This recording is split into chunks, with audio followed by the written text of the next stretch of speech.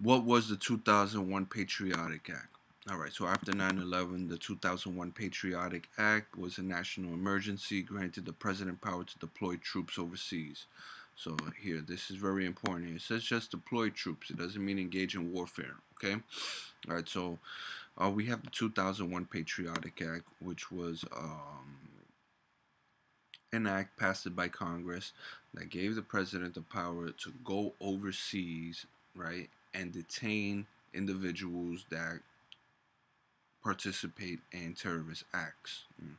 All right.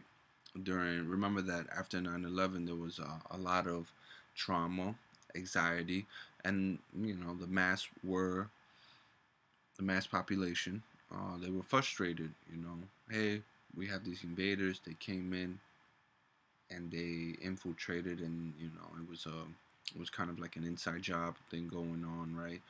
Our security is at risk. It became national interest instantaneously, right? So go ahead. Congress gives approval. Hey, you're allowed to use our troops just to go over there, you know, uh, tap a few wires, okay, and detain these individuals, right? Does not permit warfare, right? So this wasn't like uh, the Patriotic Act was not to engage in war. It was, never intended for warfare.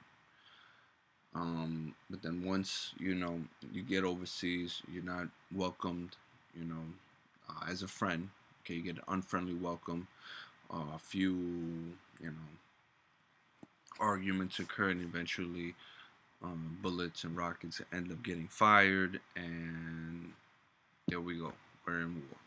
Okay, so after 9/11, the 2001 Patriotic Act was a national emergency, granted the president power to deploy troops overseas.